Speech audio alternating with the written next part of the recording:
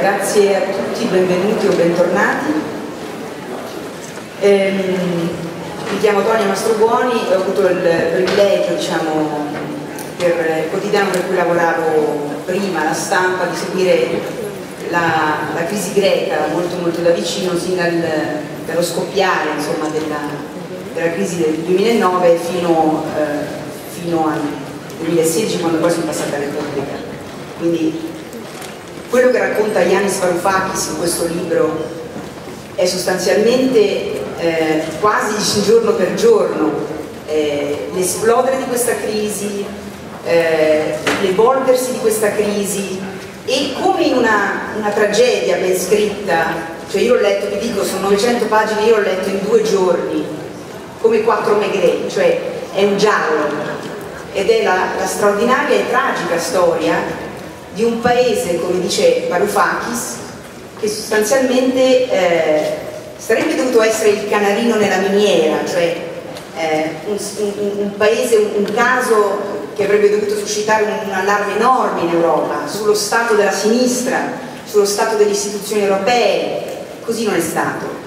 Eh, invece la Grecia è, stato, è diventato, lo dice sempre Varoufakis, il capro espiatorio, è diventato il cattivo della stanza, eh, il bambino nella stanza, per parafrasare il, il, titolo del libro che è appunto Adulti nella stanza e che si riferisce, se non ricordo male, a un'esclamazione di Christine Lagarde, eh, direttore generale del Fondo Monetario Internazionale, che a un certo punto batte i punti sul tavolo e dice ma insomma qui ci vogliono adulti nella stanza, riferendosi proprio eh, all'allora Ministro delle Finanze greco.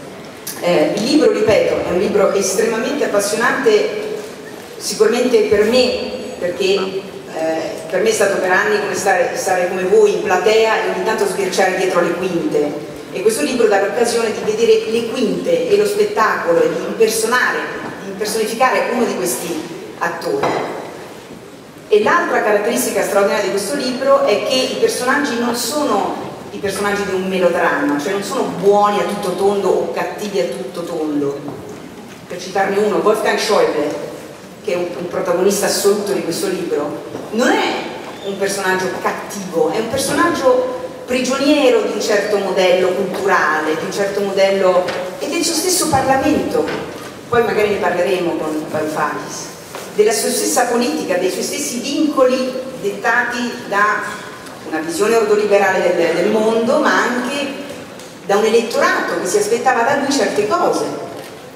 Eh, Così come non ci sono buoni a tutto tondo, così come Varoufakis a un certo punto racconta che i nemici non erano solo a Bruxelles o a Francoforte, Mario Draghi è un altro personaggio centrale di questo racconto, o a Berlino, ma nello stesso, ad Atene, nello stesso palazzo dove lui era barricato in questi sei mesi drammatici tra gennaio del 2015 e luglio del 2015 per cercare di salvare la Grecia. Ci sono anche manovre di palazzo in questo libro, ci sono appunto, è come in un vero dramma shakespeariano. Shakespeare, come sappiamo, ha creato l'uomo moderno e quindi per la prima volta, dopo aver anche noi reso conto in maniera assolutamente come dire, bidimensionale di questi personaggi probabilmente, perché non avendo il privilegio di stare dall'altra parte, abbiamo finalmente la tridimensionalità di un racconto e io partirei da un personaggio che ho avuto, che cui il libro sostanzialmente è dedicato e che ho avuto anch'io come giornalista il privilegio di conoscere. È Lambros. Lambros è un senza tetto, adesso nel frattempo non è più senza tetto perché appunto il governo Tsipras gli ha dato una casa, riuscito, durante il governo Tsipras Atene è riuscito a dargli una casa.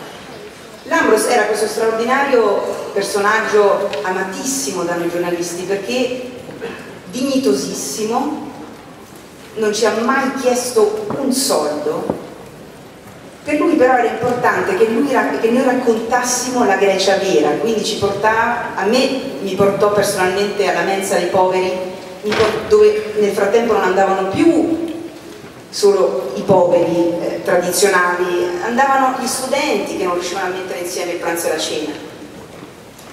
Andavano gli anziani che non riuscivano più a sopravvivere per la Troica, per quello che la Troica stava infliggendo alla Grecia.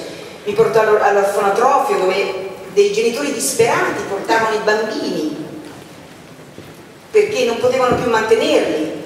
Mi parlò dei suicidi di cui parla anche Varoufakis durante la crisi. E una cosa che appunto, una parola che ho imparato moltissimo da Lambros è dignità. E, ehm, e io vorrei partire da Lambros, perché Lambros è un caso emblematico perché lui perse tutto durante la crisi.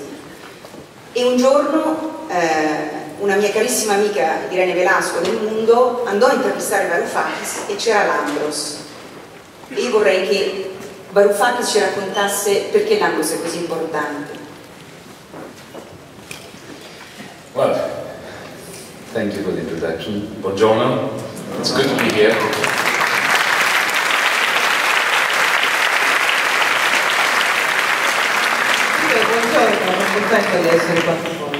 One of the greatest dangers for any finance minister is that one gets lost in the numbers and forgets the people. When I was a professor in universities and I would have a large audience of students, I remember I was, I think many professors do that, good ones at least. They try to pick out two or three faces and to keep looking at them, to, to gauge the reaction, to see if, are they getting it or have I lost it? Lambros played the role of grounding me during those six months whenever I had any doubt about what I did, I thought of language. And I'll explain it. Uno dei più gravi pericoli che minacciano, credo, qualsiasi ministro delle finanze al mondo è di perdersi nelle cifre e dimenticare le persone in carne e ossa. Quando facevo il professore universitario, naturalmente mi trovavo a parlare, a rivolgermi a grandi platei di studenti, eh, ricordo che facevo una cosa che fanno molti bravi insegnanti, quelli bravi proprio, cercavo di individuare nell'uditorio due o tre facce, due o tre persone e continuavo a posare lo sguardo su di loro per capire se ancora mi seguivano o se me ne ero persi. Mi bastava guardare loro per capirlo. L'Ambros, che, che Tony adesso ha menzionato, ha svolto esattamente questo ruolo per me durante quei sei mesi pazzeschi. È stato quello che mi ha riportato con i piedi per terra ogni volta che mi veniva qualche dubbio circa quello che stavo, stavamo per, o cercavamo di fare, pensavo a lui. On that occasion when your friend Irina, a Spanish journalist, brought him to my home, that was before I was elected, this was during the election campaign, he was there sitting, doing nothing, standing, I thought he was one of the entourage. At the end of the interview, he approached me and in Greek, he said to me, I want to ask you for a favor. When you become minister, people like me we are asking nothing of you. It's too late for us. We have fallen off the cliff. But make sure that you look after the rest who have not fallen yet. That was the dignity. Grazie. Quando no, sorry. io faceva riferimento un istante fa, cioè quando la sua collega Irene Velasco, la giornalista spagnola, eh, diciamo, è venuta eh, intervistarmi a casa eh, ed era prima delle elezioni, prima delle elezioni. Questo altro era lì che si aggirava a piedi un po' seduto, sostanzialmente non faceva niente, stava a sentire la mia, la mia intervista. Il fatto è vero che io credevo che fosse uno dell'entourage. E alla fine dell'intervista mi apostrofa in greco ovviamente e mi dice senta io le devo chiedere questo favore. Quando sarà ministro lei uh, non pensi a noi altri? Noi siamo gente che oramai non le chiediamo niente perché per noi è troppo tardi. Ormai noi siamo precipitati dalla rupe, ma la prego, pensi a tutti quanti gli altri quando farà il ministro, pensi a coloro che ancora non sono precipitati giù dalla rupe. Questa io la chiamo dignità.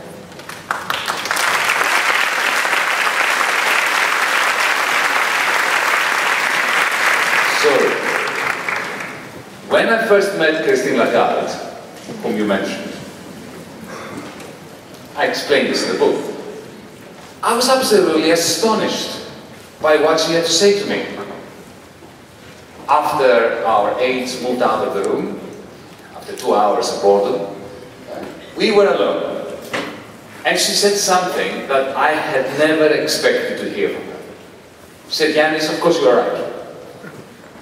What we're asking your country to do cannot be done. And your proposals, of course, are the ones we should be adopting. But we're not getting there. Because we have invested all this political capital in the program, in what was going on before. And then she turned around and said that my credibility, she said, your credibility, my career, depends on accepting the program. In other words, what she had just said cannot work. What Christine Lagarde could not understand at that moment was that I didn't give a damn about my credibility with her. I didn't care about my career as a minister. Because I had people like Lambros heart. Eh? Every single time I had to make a difficult decision, I would say, what do these people deserve? And that is essential. Eh, quando La prima volta che io ho fatto conoscenza con Christine Lagarde nel campo del Fondo Monetario Internazionale, che Tony ha, ha menzionato poco fa, e lo, e lo dico nel, nel, libro, lei mi ha assolutamente sbalordito, perché dopo le due ore di noia in cui siamo stati nella stessa stanza, ma circondati ciascuno dei suoi assistenti, fino, quando se ne sono usciti tutti quanti, siamo rimasti io e lei da soli, lei ha detto una cosa che mai mi sarei aspettato di sentire dalle sue labbra, mi ha detto Yanis, ma naturalmente è chiaro che tu hai ragione, che quello che noi stiamo chiedendo alla Grecia non, è impossibile, che sono le tue le proposte che andrebbero adottate, ma noi non lo facciamo né lo faremo perché abbiamo investito troppo capitale politico nel nostro programma e quindi stai attento perché mi disse la tua credibilità, intendeva dire la tua carriera politica, eh, dipende dal fatto che voi accettiate il nostro programma, le nostre proposte. Vi rendete conto? Lei non ha capito neanche per un istante che a me fregava assolutamente un accidente, né della mia credibilità né della mia carriera di ministro e dopo, perché quello che io avevo a cuore era l'Ambros e tutti quelli come lui. E ogni volta che avevamo, eravamo alle prese con delle decisioni difficili, pesanti, spinose, io pensavo che cosa merita questa gente. Questo per me era l'essenziale.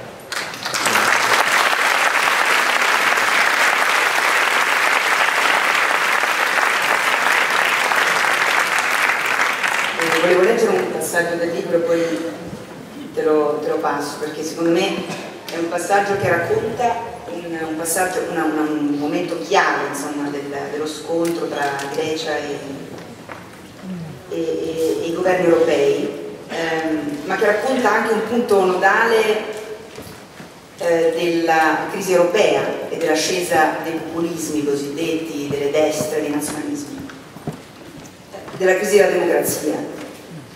Eh, durante una riunione a un certo punto Schäuble, leggo, lanciò una dura occhiata al rappresentante spagnolo. Quote, non è ammissibile che le elezioni cambino la politica economica, iniziò. La Grecia ha impegni che non possono essere oggetto di revisione fino a quando il programma greco non sia stato completato, secondo gli accordi fra i precedenti governi e la Troica. Cioè qual è qua il punto? Tsipras era appena stato eletto democraticamente e aveva legittimamente l'aspirazione, con Giannis Varoufakis come ministro delle finanze, di dare una svolta alla terribile crisi che stava uccidendo la Grecia. Ma nell'Eurogruppo, in questa riunione che non ha una legittimazione dei trattati ma che sostanzialmente è la riunione che comanda in Europa, che può essere anche accettabile, però insomma bisogna vedere appunto cosa viene espresso in queste riunioni. Eh, in questo Eurogruppo Schäuble dice sostanzialmente ma come? Il precedente governo, che era il governo Samaras, che era un governo di centrodestra, ha preso degli impegni con noi e voi adesso non li volete mantenere? E forse è in questo paradosso, no? nella sensazione che emerge anche da questi episodi che è nata la crisi della democrazia in Europa, è nata la crisi dei partiti, nella sensazione degli elettori che non possono più incidere forse no, su determinati processi. Well, it is true, isn't it? Uh, what, I, I think we owe Wolfgang Schäuble a great debt because he spoke the truth. This is precisely the way in which the Eurozone is governed. It was created to make sure that democracy is banned if it ever threatens to change anything. And he actually said it, which is very interesting. I do not blame Schäuble for that. You know, he had a point. The way we created the euro, the only way we can continue to pretend that those rules are being respected is by cancelling elections. So we have a serious dilemma, and especially in this country today. Do we disintegrate Europe, like Salvini wants, or do we democratize and fix it? That is our dilemma. I vote for democratizing it and fixing it, not for disintegrating.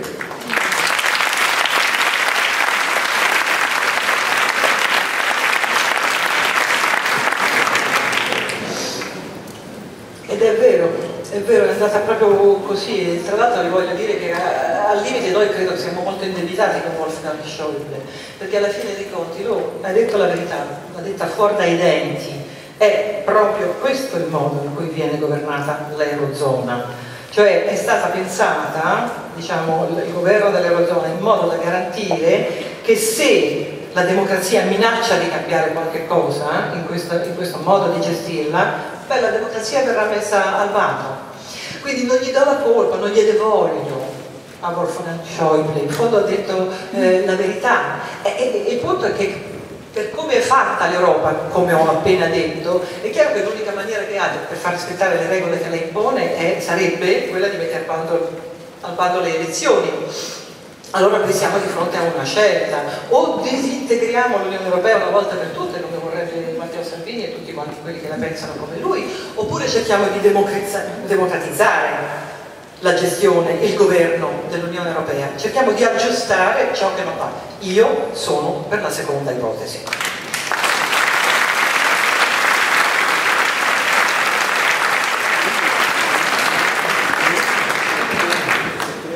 C'è un altro punto che lei ha appena accennato che riguarda la crisi delle istituzioni europee. La Commissione europea è l'esecutivo dell'Europa, no? è il governo dell'Europa, che purtroppo durante la crisi greca ha avuto dei momenti diciamo, importanti di, così, di, di impuntatura e per fortuna si è imposta, ma ci sono stati dei momenti molto umilianti. Per esempio Varoufakis ne racconta uno molto brutto in cui eh, il commissario agli affari economici Moscovici gli presenta una proposta da parte della Commissione europea, quindi legittimamente l'esecutivo, ehm, che, che, lui può accettare in quel momento. È una proposta che, che, che, la Grecia in quel momento si sente di accettare attraverso Varoufakis. Poco dopo vengono convocati nella stanza del presidente dell'Eurogruppo, di nuovo di questo gruppo dei ministri di finanze, presieduto a Dijsselbloem, che sostanzialmente altro non è che um, il prolungamento diciamo, di Wolfgang Schäuble, il quale gli dice, eh, gli dà un foglio completamente diverso con delle proposte inaccettabili, molto rigorose, molto rigoriste, dall'impronta molto tedesca. La Commissione in quel momento, invece di insorgere e dire appunto noi siamo no? un contropotere, cioè un checks and balances deve esserci in Europa, perché questo è il problema oggi, cede totalmente. E in questo forse c'è un problema enorme, ed è un problema che però eh, dobbiamo incolpare anche i governi di questo, di questo indebolimento costante, progressivo e, e, e micidiale delle istituzioni europee, cioè le istituzioni europee sono delle istituzioni neutrali eh, che possono avrebbero potuto aiutare molto più se fossero state più incisive, o no? Not a question of helping Greece, it was a question of helping Europe and helping all of us. This is a tragedy of what's been happening. It is the, a majority of people in every single country that is suffering as a result of the idiotic handling of Europe's inevitable crisis. Non è, sai, questione di aiutare la Grecia, non lo era e non lo è. Io penso che era questione di aiutare l'Europa, cioè di aiutare tutti noi. Questa è proprio la tragedia. L'aspetto tragico della vicenda è proprio questo, che, che, che, che tante, tantissime persone in tutti i paesi membri dell'Unione hanno sofferto per causa della maniera idiota di gestire la crisi inevitabile dell'Unione Europea. We created the European monetary system, the Euro system, within the European Union. Uh, in a way that was always guided to produce, to manufacture a gigantic financial crisis. E L'ho detto prima, lo ripeto adesso, noi abbiamo creato un, un sistema, un eurosistema all'interno, in seno all'Unione Europea, che è stato fatto, come dire, quasi pensato apposta, fatto apposta per produrla una gigantesca crisi economica. And then because we did not have the institutions to handle it, what happened was they created very secretive, opaque committees that you don't know them, but they're running your lives as a result of the crisis. It's not even the European Commission. I was astounded. You heard the story. The worst thing that happened to me on a number of occasions during 2015 was when the European Union Commission wanted to help me.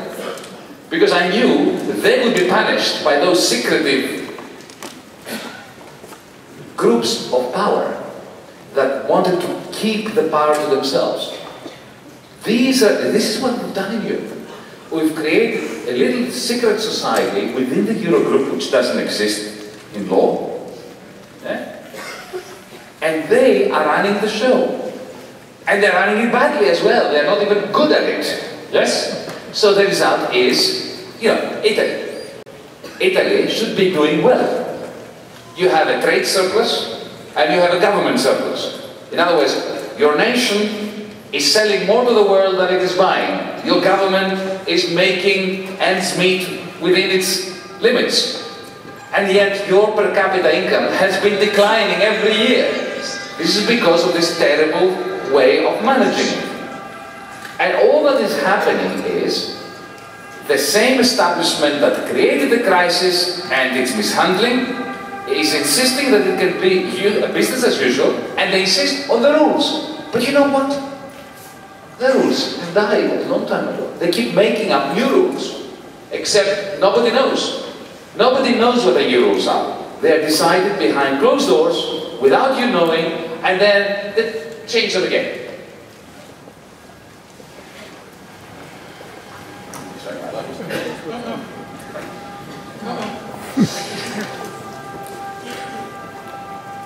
E siccome non c'eravamo, non, non avevamo delle istituzioni che potessero gestirla, questa crisi, in certa misura creata proprio da loro, hanno messo in piedi un po' di commissioni, varie commissioni, vari gruppi ristretti, per niente trasparenti, il massimo dell'opacità. Nessuno sapeva, nessuno sa chi ci sta veramente dentro, ma sono loro che mandano avanti, che gestiscono la nostra vita a partire dalla crisi da allora in qua. E, no- e non, non sto neanche parlando della Commissione europea, perché la cosa che, poi lo leggete nel libro, la cosa che veramente stupefatto, la cosa più brutta che mi è capitata diciamo nel 2015, che a un certo punto quando sembrava che l'Europa, che l'Unione Europea volesse aiutarci, aiutare me, aiutare il mio paese, io sapevo benissimo che c'erano dietro dei gruppi di, di- di potere segreti, opachi, eh, che facevano di tutto per tenerselo questo potere. In pratica che cosa hanno creato? Hanno creato creato una specie di piccole società segrete a parte l'Eurogruppo che, che- come non sai è una, fizio- una finzione perché non, non esiste, ma insomma sono loro che gestiscono, che menano le danze e per di più le menano male. L'Italia? Eh, L'Italia è un caso perfetto, un esempio perfetto. L'Italia è un paese che come paese dovrebbe andare più che bene. Ha un attivo della bilancia dei pagamenti, cioè esporta più di quanto non importi, e ha un attivo, cioè il, il governo ha un attivo, nel senso che il, il governo italiano comunque da allora, dallo scoppio della crisi, è riuscito comunque a sbarcare l'Uniario, a farlo sbarcare al paese. Tuttavia, guarda un po', il vostro reddito pro capite è andato calando ogni anno disastrosamente per causa della gestione disastrosa della crisi che hanno fatto loro, quelli stessi che siedono nei piccoli e opachi comi- comitati. Quindi è lo stesso establishment che la crisi l'ha creata sei messa a gestirla non la sa gestire bene, ci butta nel disastro ma insiste ancora sulle regole. E attenzione però perché le regole sono morte da un pezzo, cioè o meglio le regole sono cambiate più e più volte perché questi se le fanno e se le rifanno di continuo e non te lo dicono perché lo fanno a porte chiuse. E poi ricominciano e le regole, le regole,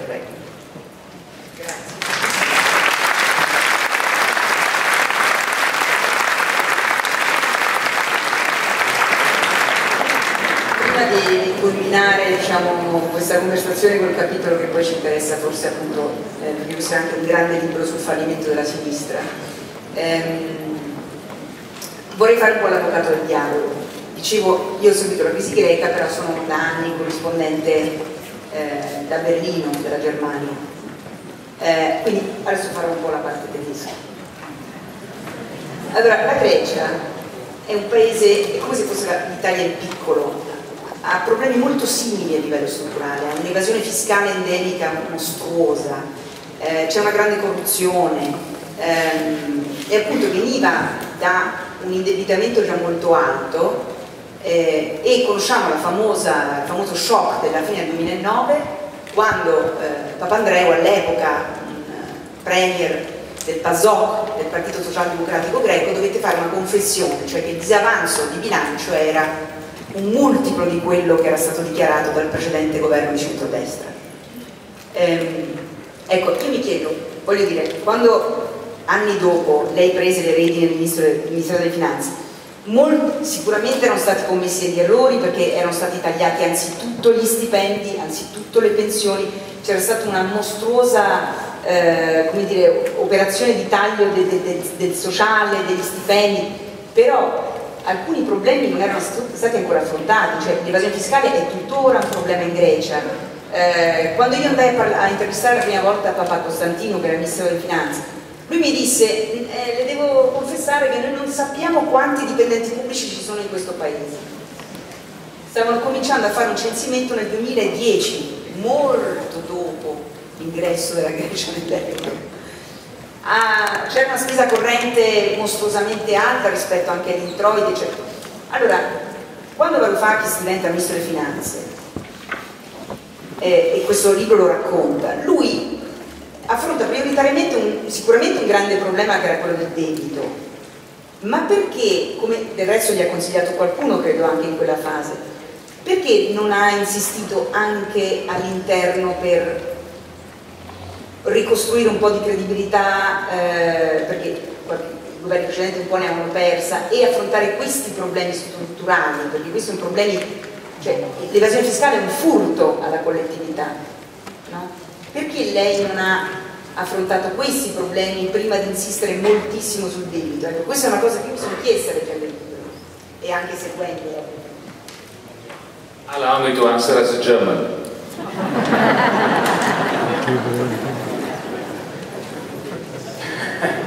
tedesco non lo faccio. Greece was the example of a combination of inefficiency and corruption. E ti rispondo dunque da, da tedesco. La risposta che darebbe un tedesco è la Grecia era l'esempio per eccellenza di un eh, connubio tra inefficienza e corruzione. This is why I spent all my youth demonstrating against every Greek government that there was. Ecco perché ho passato la giovinezza a fare manifestazioni contro tutti, uno dopo l'altro, tutti i governi greci che, che sono passati sotto il mio naso. But let's perform a very Germanic experiment, mind experiment. Ma cerchiamo di fare un esperimento mentale molto germanico. Suppose Greece had not entered into the Eurozone in 2000. Pensiamo che nel 2000 per esempio la Grecia non fosse entrata nell'euro, va bene? Between 2000 and 2008 our debt would have increased much more slowly tra il 2000, in quel caso tra il 2000 e il 2008 il nostro indebitamento pubblico sarebbe aumentato sì, ma molto, molto più lentamente. Because the German banks would not be pushing loans down our throats, Perché thinking le... that we had the Deutschmark perché le banche tedesche, eh, perché le banche tedesche non ci avrebbero imposto a forza i prestiti, lo sapevano, c'era il marco. Then in 2008 we would have a crisis, like Bulgaria had a crisis, small crisis, and within a year the crisis would go away and we would continue to be as inefficient and as corrupt as before, but without the collapse Poi nel 2008 sì, avremmo avuto una crisi, ma una crisi piccola, una crisi un po' come quella della Bulgaria che è durata un anno e poi se n'è andata, dopodiché noi avremmo naturalmente continuato ad essere inefficienti e corrotti, però perlomeno senza più crisi. The reason why we're still in a depression, 10 years later almost, is because of the design of the Eurozone and the fact that German and French banks were pushing throats Greek throats, stuffing them full of loans. E il motivo per cui siamo ancora nella depressione, a quasi dieci anni di distanza oramai, è che proprio il disegno dell'Eurozona era che le banche tedesche e francesi ci ingozzassero a forza, ci imponessero prestiti su prestiti su prestiti. So let me now answer your second question. What did I do when I went into the ministry? Allora adesso prego la, tua, la seconda parte della tua domanda, cioè che cosa ho fatto io da Ministro delle Finanze? You will recall in the book I had two parallel simultaneous objectives. Chi ha letto il libro già sa che io, perché lo scrivo, eh, mi sono prefisso due obiettivi paralleli e simultanei. One was macroeconomic, it was to restructure the debt, to be able to lower the tax rates to stand in front of my fellow Greeks and say, a new social contract, folks. I will reduce your tax rates and you will pay the taxes. La prima era diciamo, una misura di natura macroeconomica, io volevo ristrutturare il debito di modo da poter abbassare le aliquote di imposta e mettermi di fronte ai miei connazionali e dire belli, ora facciamo un patto, io varo un nuovo contratto sociale e abbasso le tasse, ma voi me le pagate. The second dimension, you will recall, was I set up a team of untouchables, of clean, not corrupt, very small team, seven people in the finance ministry to catch the tax cheats. And we had an algorithmic, computer-based search mechanism that matched movements from one bank account to another with the taxes that the owners of those bank accounts had declared over 15 years. And the idea was, by late July of 2015, I would have a press conference. And I would look into the camera, through the camera, to my fellow Greeks and I say, we know what you've done over the last 15 years. But this is a new social contract. We're not revanchists, here is a website. Go to it within two weeks. Write down the amount of money that you forgot to declare over the last 15 years. Pay 15% only, and you start anew. And what happened? We caught 485,000, 485,000 in a small country of cheats who had actually cheated the state of more than 100,000 years each. I'm not talking about 1,000 and 2,000. And I was going to have this press conference late July. 6th of July, I resigned. 7th of July, this is all in the book, I get a phone call, I was no longer minister. I get a phone call from the head of this unit, and he was crying. And he said to me, Minister, they are disbanding us. Why? Because the Troika, our good friends in Berlin, are the Greek oligarchies and the Greek tax, tax cheats best friends. Because they knew that amongst those people that we caught were the big sharks in Greece. And they are the ones that they are doing business with the Troika. They are the ones who are still running the banks. They are the ones who are buying for minimum prices all the privatized railways, ports, harbors, and so on and so forth. This is the problem we have. The ones who speak for Germanic values do not respect Germanic values. So let's be German.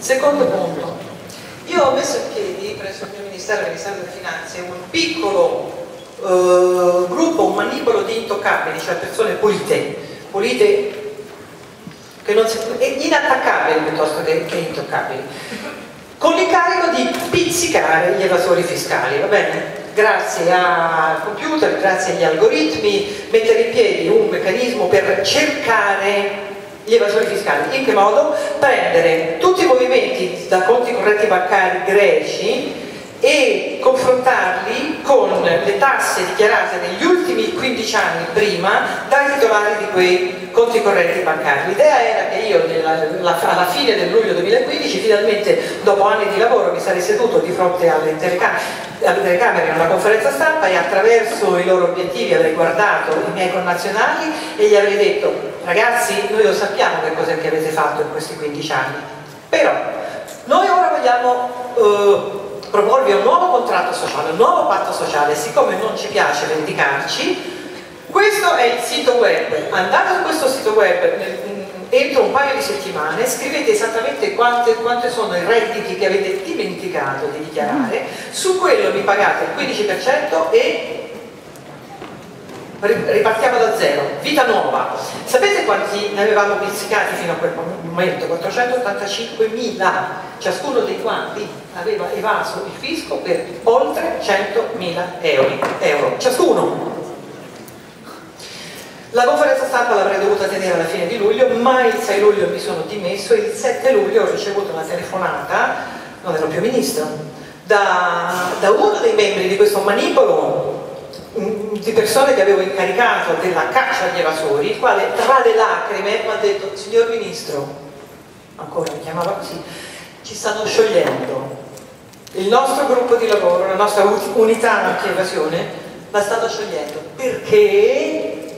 Ma perché quelli della Troica, cioè quelli che Tonia Mastropoli ben conosce, che seguono a Berlino, sono i migliori amici sia del, degli oligarchi greci che degli evasori fiscali greci, che sono la stessa cosa, perché i grandi evasori del fisco greco sono i grandi pescecani, i grandi profittatori che fanno affari con la Troica, sono quelli a cui è stata messa in mano la gestione delle ferrovie, dei porti, ne so io, delle autostrade di Grecia, che sono state privatizzate quelli stessi che si riempiono la bocca dei valori germanici non li rispettano. Allora facciamo una bella cosa, facciamo tutti i tedeschi, ma tutti però.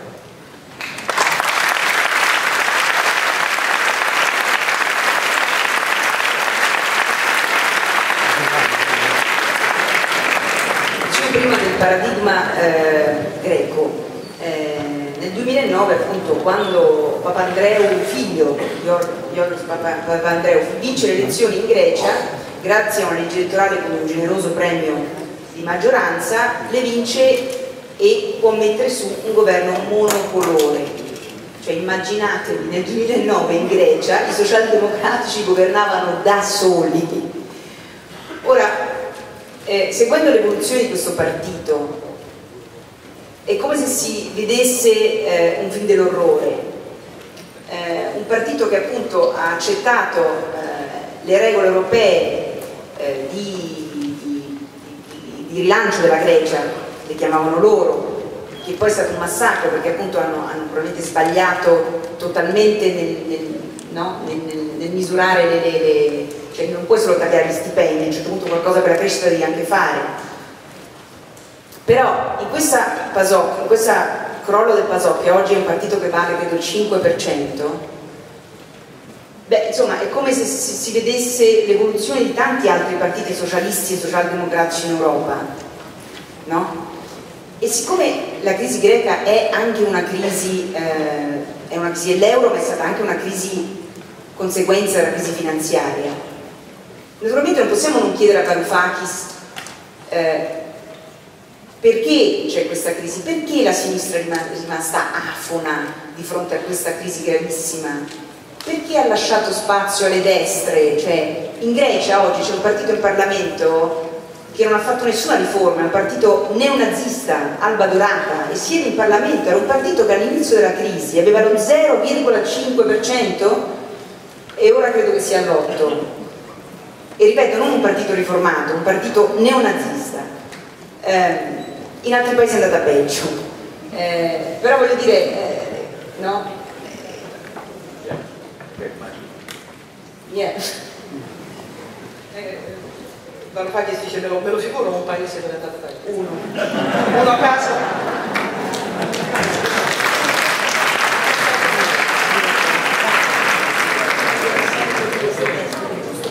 ma parliamo anche della sinistra, cioè perché eh, questo fallimento? Look, let's look at the root causes. It's a pan-European, if not global, crisis of social democracy. And in my understanding, the reason is this. Sometime between the 1980s and 1990s, social democrats all over the place were very impressed by the world of finance. I remember Massimo D'Alema.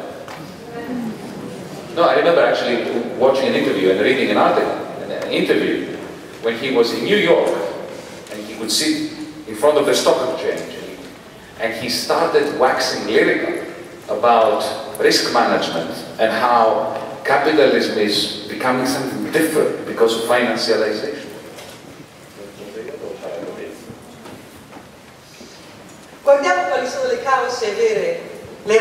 Radici vere di questa crisi di cui ci, ci, ci, ci parla Antonio Mastrobuoni. Io penso che sia stata una crisi, eh, se non globale, comunque paneuropea delle socialdemocrazie. Secondo me la ragione è la seguente. Tutte le socialdemocrazie fra gli anni 80 e gli anni 90, tutte le socialdemocrazie del mondo, eh beh, sono rimaste stregate dal mondo della finanza. Io mi ricordo di aver letto un articolo e poi visto un'intervista data da Massimo D'Alema a New York di fronte a Wall Street in cui lui, come dire, si esprimeva in termini lirici sul capitalismo dicendo che il capitalismo era cambiato perché adesso si era finanziarizzato.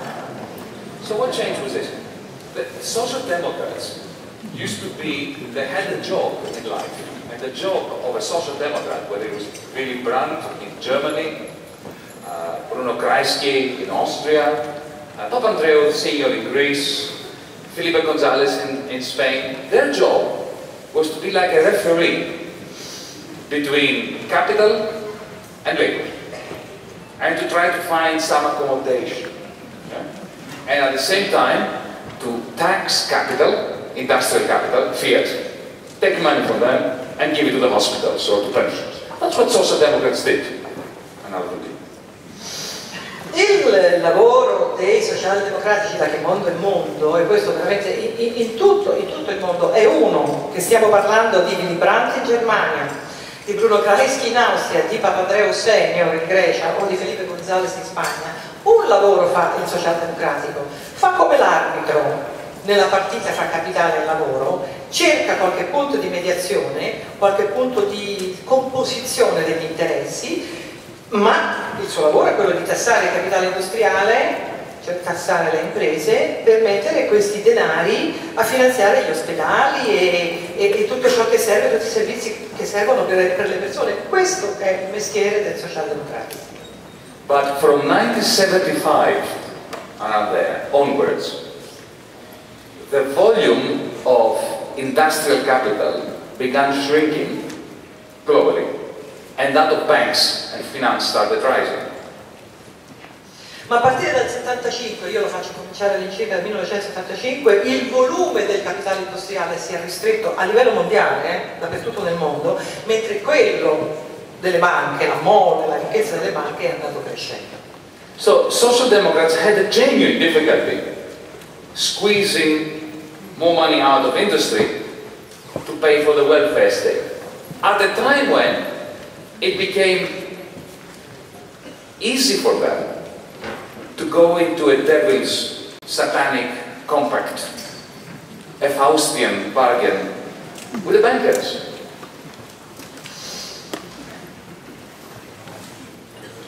È per questo che a quel tempo e da allora i partiti socialdemocratici in tutto il mondo dire, hanno avuto un'autentica difficoltà, una vera difficoltà a cercare di spremere più soldi da, da, da, da, dalle industrie per finanziare lo Stato sociale, gli ospedali e tutto quello che abbiamo detto prima. Il tutto proprio nel momento in cui hanno avuto una grande facilità a stringere una sorta di turpe patto faustiano con le banche. This Faustin bargain was very specific. The Social Democrats in government said to the bankers, we will turn a blind eye, you can do whatever you want. In exchange for a small amount of money, relatively, from which they would fund the welfare state. Tony Blair did that in Britain. Gerhard Schröder did this in Germany. Papandreou did it in Greece. It happened here. That was the deal. E qual era questo accordo? Qual era il contenuto del, del, del, del patto del patto faustiano. I socialdemocratici che erano a quell'epoca al governo hanno detto alle banche guardate noi chiediamo un occhio magari anche due, voi fate un po' come vi pare, però in cambio ci continuate a dare un po' di soldi di modo che noi continuiamo comunque a finanziare lo Stato sociale, gli ospedali e tutto l'altro. Come ha fatto Tony Blair nel Regno Unito, come ha fatto eh, Schröder in Germania, come ha fatto Papandreou da noi e come è stato fatto anche in Italia. Questo era il contenuto dell'accordo. There were three parallel processes, political processes, strengthening this. One was that the money that they were taking from the finances were indeed creating political consensus. People liked the expenditure of pensions on hospitals. That was number one. Number two, they were also being financed by the bankers to run their political campaigns and their offices and they felt for the first time they didn't have to struggle against capitalism. And the third, the left has always had a nasty authoritarian streak in it. I'm, I'm, I'm confessing this as a left winger. We must always have a tendency towards self-criticism. I remember in the, when was it, 1992, 1993, 4, something like that, in Rome. I was visiting a philosopher friend of mine, an Italian. I won't tell you his full name. He won't forgive me if I do. His name was Roberto. I'll just leave it as Roberto. A dedicated, hardcore member of the PCI, of the Communist Party of Italy. And it was at the time when the Communist Party no longer was Communist Party. It became something della sinistra. Yeah? and I said, Roberto, aren't you communist anymore? He said, no. I said, why? He said, because the party says so. the point I'm making is that people like D'Alema always believed that he had the divine intervention of history on his side. The left sold their souls to finance, gained a lot of power, and they also retained that complete Stalinist belief that history was on their side. Put these things together and you have 2008.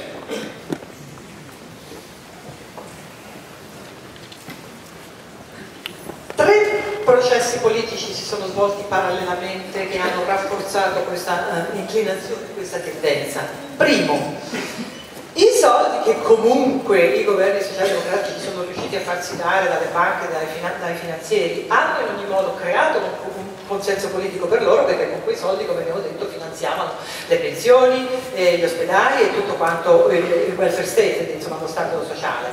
Due, i partiti, molti uomini politici di quei partiti si sono fatti finanziare le campagne elettorali dai banchieri stessi ed ecco che di colpo non volevano più fare la lotta contro il capitalismo, chissà come mai. Tre, la sinistra, attenzione, io sono un uomo di sinistra, mi proclamo tale e penso che dobbiamo conservare il senso autocritico noi della sinistra e quindi autocriticamente dico che noi della sinistra abbiamo sempre avuto una certa propensione all'autoritarismo. C'è dentro la sinistra sempre stato un filone autoritario. Io ricordo benissimo, era 92, forse 93 o, o, o 94, ero a Roma, sono andato a trovare un amico mio che fa il filosofo italiano di nome, primo nome fa Roberto, il nome non ve lo dico perché sennò poi dopo gli dispiace, eh, il cognome non ve lo dico.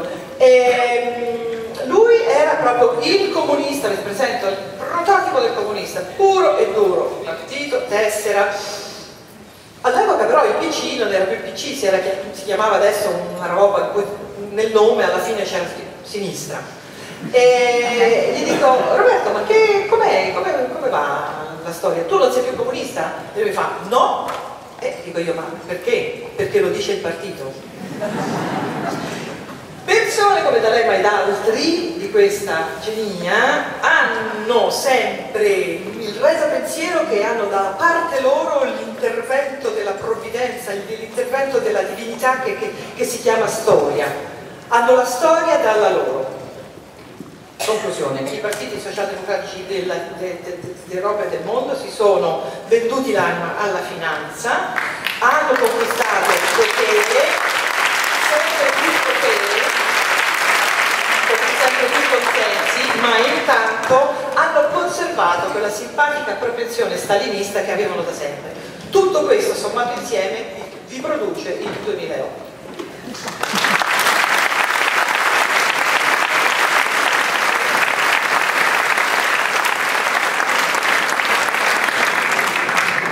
So when the crisis of 2008 came to Europe, 2009, 2010, and these people were in power, conjoined with the bankers, and the banks were bankrupt. They did not have the moral courage or the analytical capacity to pick up the phone and to say to their banker friends who were paying for their mortgage back, you are out. We will save the banks, we are not going to save the bankers. They couldn't do it. So instead, they shifted the bankers' losses onto your shoulders. They called it austerity. And then they started believing in austerity and arguing for austerity. It was at that point that the soul of the Social Democrats was completely sold to the devil and social democracy was kaput, to return to our Germanic mode.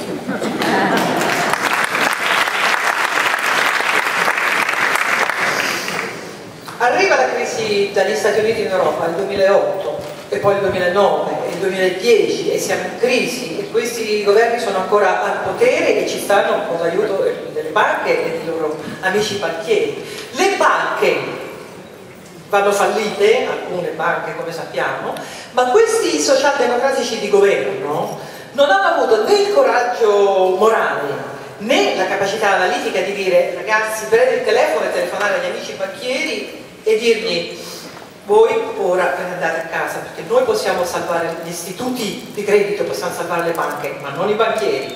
Ed ecco che invece le perdite dei banchieri sono state prese e gettate addosso i, i, i contribuenti dei vari paesi dell'Unione, l'hanno chiamata austerità e l'hanno difesa a spada tratta dopo che da bravi socialdemocratici si erano venduti l'anima al diavolo e ci hanno mandati, per usare un noto termine del vocabolario tedesco, caput.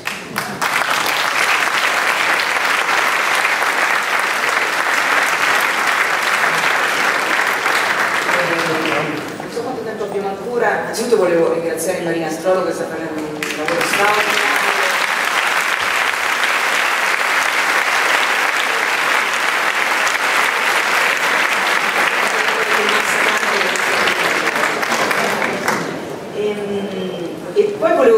invece volevo passare a un capitolo fondamentale, l'euro.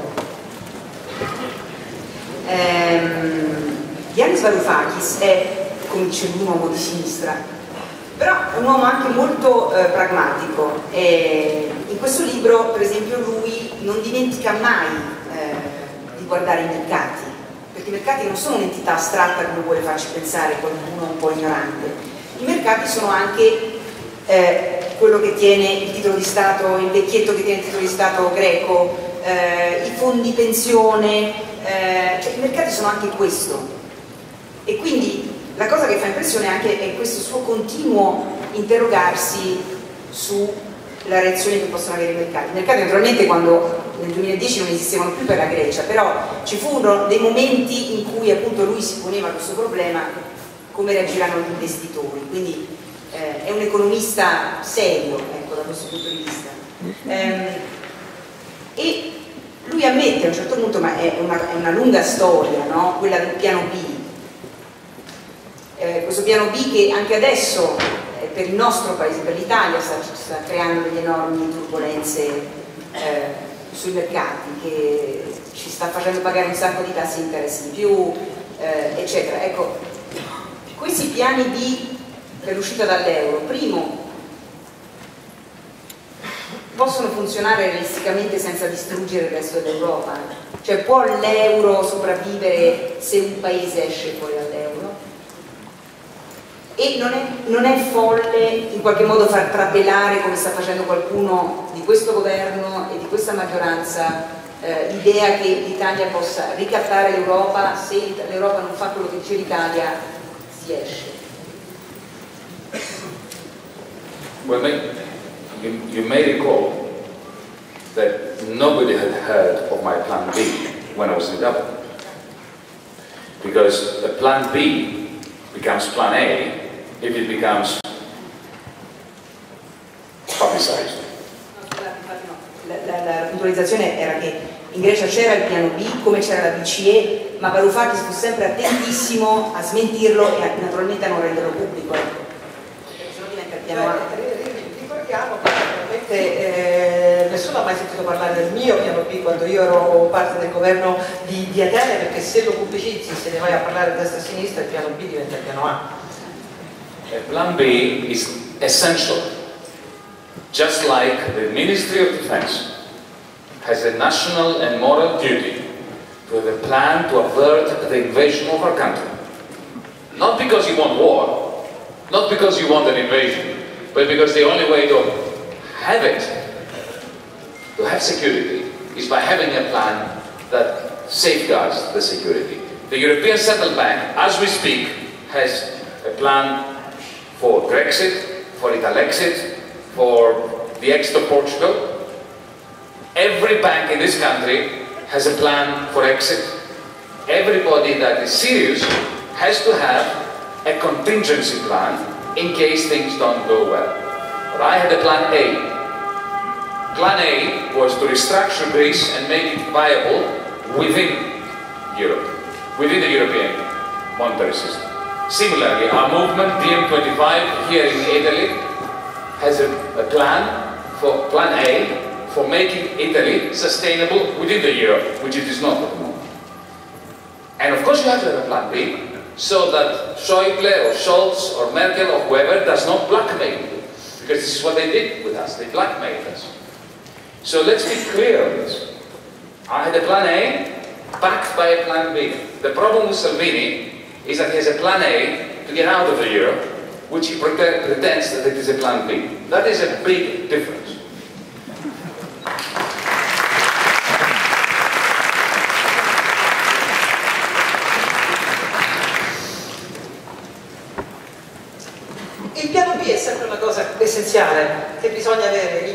Difesa, ogni ministro della difesa ha il dovere morale, oltre che il dovere nazionale, per aver prestato giuramento di scongiurare un'invasione del suo paese, non perché voglia la guerra in modo particolare, ma perché questa è l'unica maniera di garantire la sicurezza, dovesse mai succedere qualche cosa, se non hai un piano mm, il paese viene, viene, viene invaso, devi salvaguardare la sicurezza del tuo paese. La Banca Centrale Europea ha voglia quanti piani che ha per la Brexit, non solo per l'Italexit, per la Portoghexit, per quello che volete, ma anche le banche, tutte le banche italiane hanno un piano in vista dell'eventuale uscita dell'Italia dall'euro, cioè chiunque si affaccia seriamente il suo mestiere ha un piano d'emergenza, c'è poco da fare. Però nel mio piano B abbiamo già detto, il mio piano A era semplicemente ristrutturare la Grecia e renderla, metterla in grado di vivere sopravvivere e prosperare nel sistema monetario europeo, dentro l'euro. Così come la formazione eh, europea alla quale sto dando vita insieme con altri, che si chiama DEM 25, anche in Italia, ha il piano B di rendere l'Italia, cioè mettere l'Italia è in condizione di essere sostenibile nell'euro, cosa che attualmente non è. E comunque a voi, Schäuble, la Merkel, eccetera, non vi ricattano, Grecia, a noi greci ci hanno ricattato e come? E la differenza tra noi e Salvini, che adesso è al governo in Italia, è che lui eh, ha, ha un, un piano A per l'uscita ma, ma, questo è il suo piano B, questa è la grande differenza. Noi non abbiamo mai parlato del nostro piano B, noi abbiamo sempre messo avanti il piano A e questo sarebbe il piano, ristrutturare e cambiare.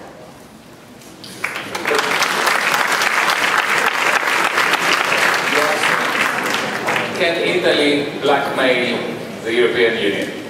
Yes. 2.6 trillion. If you owe a thousand euros, you can't blackmail it. When you owe 2.6 trillion, you can blackmail the world. There's no doubt about that. The question is, should you? Okay. Another question is, can Italy survive outside of the euro? Yes, it can. Yes, it can. There will be a cost, but it can. The question is not can it. Should you aim to get out of the euro as your plan A? No is the answer to that. So you see, we need to have sophisticated answers. It's neither, it's not black or white. Yes, you can blackmail Germany. In the same way Germany blackmails you. But we should, as Europeans, move beyond mutual blackmail. We should simply state that which is good for the Germans, that which is, which is good for the Greeks, for the Italians, this is what we do as DiEM25, the European Union, and say, let's do this because not, not because I want to gain something at the expense of the Germans, but because Germany is suffering at the moment. Half of the German population today are worse off than they were 10, 15 years ago. Okay? So there are mutual interests which are not being served by the President.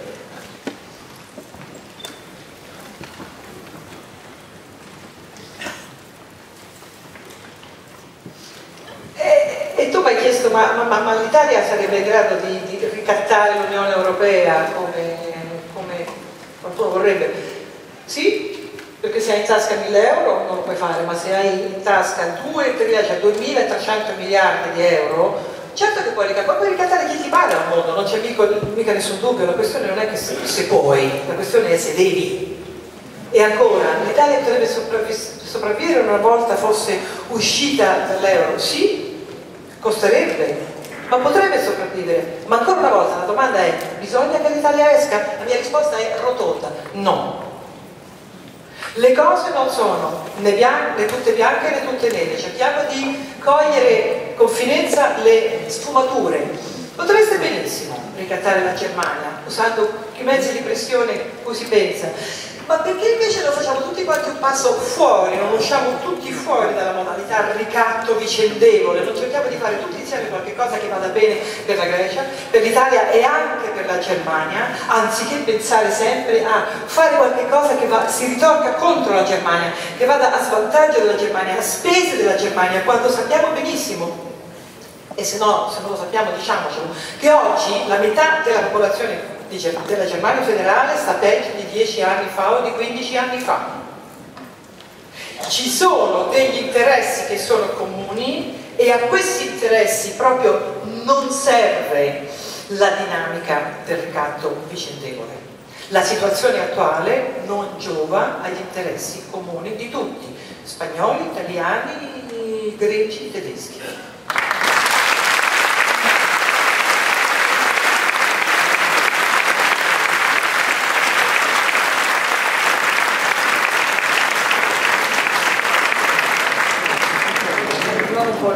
Diavolo e la tedesca. Ehm, perché una volta Mario Monti disse a Papandreou certo che sono d'accordo anch'io sugli Eurobond magari facessimo gli Eurobond ma finché li proporrai tu non si faranno mai. Cioè cosa voleva dire Mario Monti? E parlava anche di se stesso. Finché l'Italia e la Grecia, due paesi con 1300 miliardi di debito eh, la Grecia altrettanto, i due paesi con il maggiore debito andranno in Europa a battere i pugni sul tavolo e a chiedere un, un cambio di linea, eccetera, i paesi nordici faranno un muro. Come si risolve questo dire, dilemma? By creating a pan-European movement that brings together Democrats from Germany, from Holland, from Belgium, from the north, from the south, from the east and from the west, so that we can push simultaneously in every part of Europe. The era of national-based politics is over. We have to have a renewed progressive internationalism across Europe so that we can all rise up against organized stupidity.